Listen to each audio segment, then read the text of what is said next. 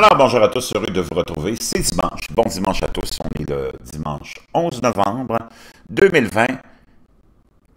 7h06, heure du Québec. On commence la journée tôt avec une histoire d'horreur, encore probablement une histoire euh,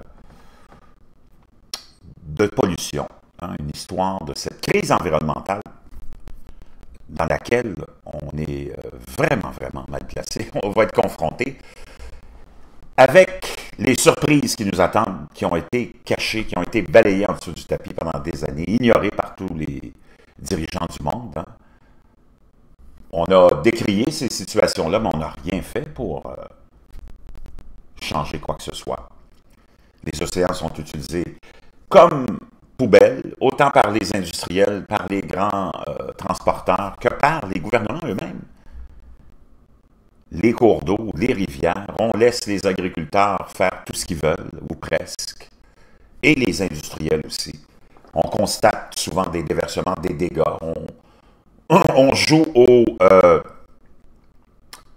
à la veuve offensée après, mais les dommages sont toujours faits et il est toujours trop tard. Donc, une histoire d'horreur, une autre, il y en a beaucoup en Russie de ces histoires d'horreur-là. On peut comprendre le contexte, hein, l'ex-URSS, et maintenant euh, la Russie, ne euh, sont pas un exemple non plus de gouvernance. Et cette nouvelle-là m'a été rapportée euh, par des abonnés, mais j'ai trouvé qu'ils m'ont envoyé un lien que je connais de Strange Sound, mais j'en ai trouvé un autre qui nous parle de cette histoire-là aussi. Et cette nouvelle-là nous vient de, de Sun, hein, le fameux journal anglais de Sun, Marée rouge, mystère alors que les rivières russes tournent au rouge sang et que les animaux refusent d'entrer dans l'eau toxique. 7 novembre, donc hier, c'était rapporté. Cette nouvelle-là, je vais vous laisser le lien de, ça dans euh, la boîte de description. C'est vraiment euh, inquiétant tout ce qui se passe. Plusieurs rivières, je vois les images que vous verrez quand vous irez euh, chercher le lien dans la boîte de description. C'est horrible l'eau est littéralement rouge sang. Donc, plusieurs rivières en Russie sont mystérieusement devenues rouges sang, laissant les habitants surpris. Les habitants ont déclaré que les animaux ont refusé de pénétrer dans l'eau toxique pendant que des enquêtes sont en cours pour comprendre ce qui a fait changer la couleur des rivières. C'est vraiment surréaliste. Wow! Et c'est vraiment un rouge très inquiétant. La décoloration alarmante de la rivière Iskitimka a provoqué des inquiétudes chez les habitants de la ville industrielle de Kemerovo, au sud-ouest de la Sibérie en Russie. Les responsables de la région de Kemerovo tentent de trouver la source du déversement après plusieurs rapports de la population locale. Une personne a dit c'est comme une soupe au borscht. Moi, j'en ai déjà fait des soupes au borscht, hein? faites à base de betterave. Je veux dire une chose, c'est rouge longtemps mais c'est probablement plus toxique. L'eau a l'air toxique. Un autre résident, identifié comme euh, Andre euh, German, a déclaré, ou German a déclaré, il n'y a pas de canards dans la rivière, tous sont sur la rive. Les responsables de l'environnement ont déclaré que l'eau de couleur rouge provenait d'un drain bloqué, mais que le produit chimique qui a causé la décoloration est toujours sous enquête. Récemment, une rivière à Naro euh, Faux Minx est également devenue rouge après un rejet de produits chimiques. On est encore en Russie avec cette autre histoire-là. Le système d'évacuation des eaux pluviales de la ville est une source possible d'eau contaminée, a déclaré le gouverneur adjoint Andrei Pavna ou Panov. Euh, on voit d'autres images hallucinantes, rouges, mais vraiment très, très vifs.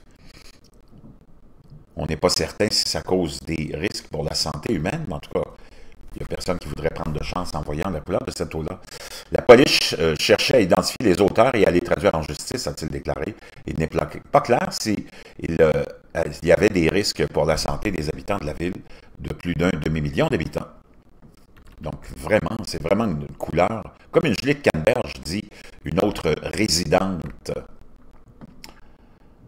Les eaux polluées se sont déversées dans la plus grande rivière, Tom, Auparavant, la rivière Govzdiana a soudainement viré au rouge et, de la même manière, le blâme a été mis sur les eaux usées s'écoulant dans les tuyaux de drainage. Les habitants se sont plaints de n'avoir reçu aucun détail sur la cause du déversement.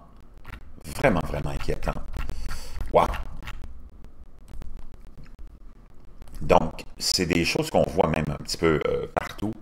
Je vous laisserai le lien de Strange Sound aussi, euh, qui rapporte la nouvelle. Naturellement, Strange Sound sont souvent des dans ce genre d'informations-là, hein. des informations que tu ne vois pas dans les réseaux, parce qu'on pense que c'est pas assez important. Donc, un autre flop de la région sibérienne de Kemorovo en Russie est devenu rouge sang après un mystérieux déversement de pollution. Les habitants inquiets de la ville industrielle, donc c'est une ville industrielle, de Kemorovo ont déclaré que même les canards refusaient de nager dans l'eau toxique de la rivière Iskitimka. Les images sont vraiment à vous donner des frissons dans le dos. Donc, il y avait eu d'autres événements comme ceux-là. Je vous laisserai un autre lien qui nous parle de... On était dans l'Arctique cette fois-là. Hein.